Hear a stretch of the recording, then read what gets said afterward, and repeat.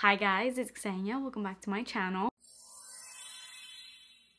So today I am very warm and cozy. I'm feeling all the fall vibes, which is very fitting for the perfume that we're going to be talking about today, which is a brand new release from Kayali. This isn't the only release from them. Just about a month ago, Kayali released four new fragrances. The four new releases are all part of this oud collection that they have going on and they are all oriented around a very strong oud notes. Some are stronger than the others. I would say the intensity of oud, if we're talking from most mild to most intense, goes from vanilla oud, which is the one that I'm going to be talking about today. Next up from that is cafe oud. Then we have rose oud. And finally, being the most strongest, most intense, as you can imagine, is tobacco oud. I think you could guess very easily which one I would have picked out out of the four. It was 100% vanilla for me right off the bat. Whether it was oud oriented or not, I feel like I would would have still chosen vanilla because I'm obsessed with anything vanilla. And ever since my newfound liking to Vanilla 28, I'm really excited every time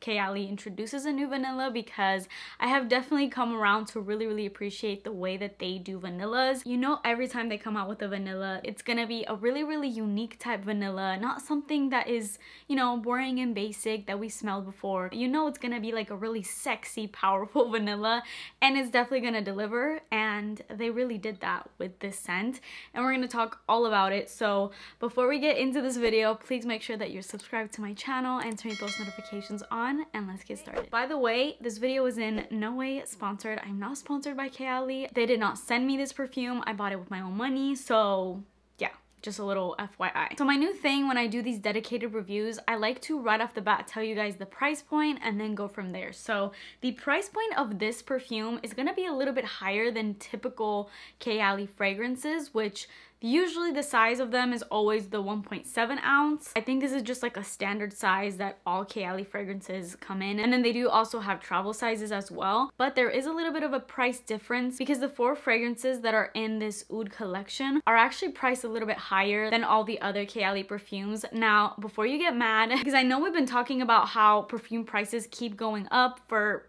seemingly no reason. This one actually has a reason why it's gone up. It's done for no reason. Like you get a Burberry fragrance that is priced at $150 for no reason just because it's new. That doesn't make any sense to me. But this one does, and I'm to tell you guys why. So all of the four fragrances in this oud collection are all priced at $140 as opposed to their usual $100 even price point, and that is because like I said, these are all oud oriented and if you have no idea what oud is, I'm to give you a little fast little summary rundown on oud and that explanation is to tell you why these are priced a little bit higher and it totally makes sense. So I will give them that. I am not mad. Oud is a highly sought after, rare, and expensive essential oil that is derived from the wood of the Aquilaria tree. Oud, the Arabic word simply for wood, is expensive because it's so rare. The tree can take 20 to 30 years to mature. It doesn't grow just anywhere, but mainly in select regions of Southeastern Asia. So due to its very, very rare quality, the fact that it is kind of difficult to obtain, and as I said here, the tree alone can take 20 to 30 years to mature, it's just a very expensive ingredient because of that reason. And when a perfume price actually has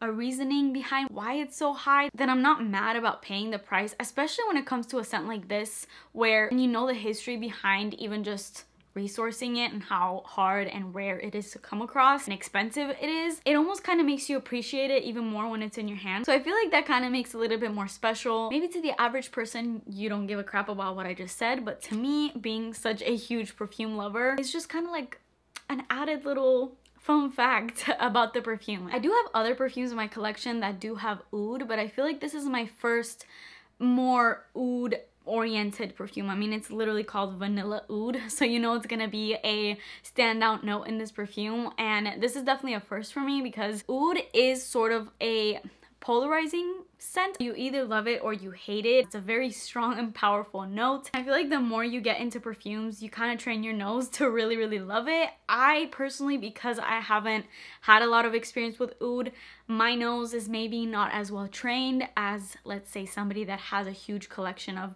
niche fragrances that have a ton of oud in them. And obviously, oud is gonna be in more expensive perfumes. You're not gonna find oud in like a $20 perfume. It's expensive to get, so it's gonna be expensive to buy. Let's finally get into this specific scent, what it smells like, what I think about it. I actually did a first impression that I recorded on camera of this perfume because while I was filming my most latest perfume haul, which I will link up right here, literally in the middle of me filming that video, this perfume arrived at my doorstep and I was so excited. So at the end of that video, I did kind of like my first reaction to it, like we unboxed it together and you kind of got a little snippet of my first reaction, which definitely you can see even from that video was very. And it has continued to be more and more positive. My love for this has just continued to grow. I love the fact that Kayali always lists their notes in the back, but I'm also gonna read off the full rundown of the notes that are on Fragrantica as well. As far as the notes that are in here, which I feel like are the notes you can smell the most out of this perfume, this has vanilla sugar,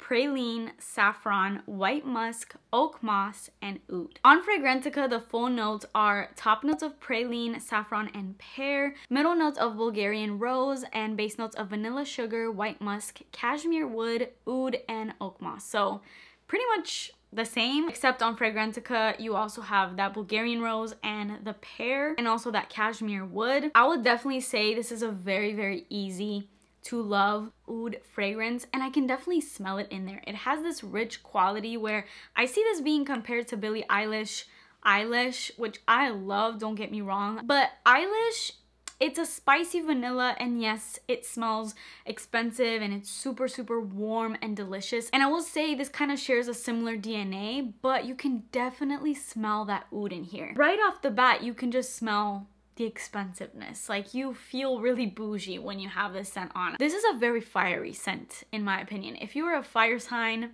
you need vanilla oud. Maybe you're wearing a casual outfit with pumps, maybe some Louboutins, and then you have a bright red lip on.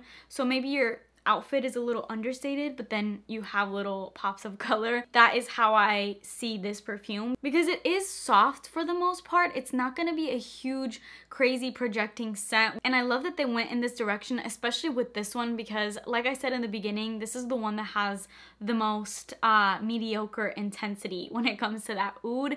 And so if people are complaining about this being too soft, it was the point of this to be kind of too, too soft. And then as you go with Cafe oud and then rose oud and then tobacco oud, that oud obviously will get stronger. So if you're looking for a really powerful oud scent and you're getting this and you're just like, this is really soft and I don't smell it that heavily. I think that was kind of the point when they made this because obviously they took into consideration the fact that oud is more of a powerful scent and not everyone is going to be used to the note and the richness. So I feel like they did this on purpose. So whether you like it or not, just depends on how much you love oud or not. If you're looking for a stronger oud scent, get tobacco oud. I love this. I just find it so, so creamy. It's so smooth. It's so well blended. The oud doesn't stand out or like punch you in the nose. Everything is just so smooth. That's the best way I can explain it. It's very dark and seductive. It's intoxicating. Very powerful scent, but while also being not too much. I'm a huge believer in that you obviously don't need to show skin to be sexy. You could be fully clothed from head to toe and be super sexy. And that is this fragrance to me. It doesn't feel too, too provocative.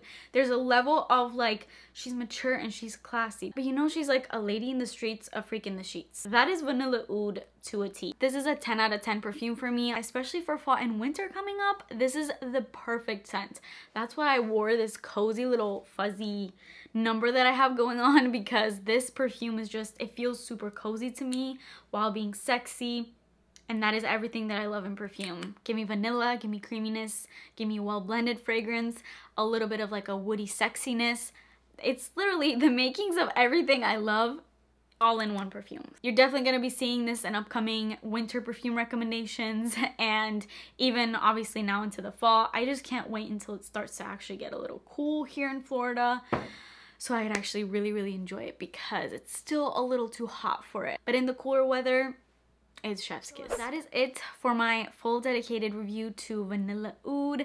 I obviously can't speak about the others. I haven't smelled them. I know I'm boring and I picked the safest pick out of the four, but this was a blind buy for me, so I wasn't just gonna risk $140 with a scent that I wasn't too sure on. If these do come in stores, which that's one thing I'm gonna ask you guys, do you know if these are limited edition or not? I was trying to do some research to see if they were, but I couldn't find anything. So if they're permanent and eventually they come out in stores, I would love to go smell the others because maybe I would like the others, but I just don't feel confident enough with blind buying the others. But if you have tried the others, let me know in the comments. So that is it for me today. Please subscribe to my channel if you haven't already, and I will see you in my next video. Bye!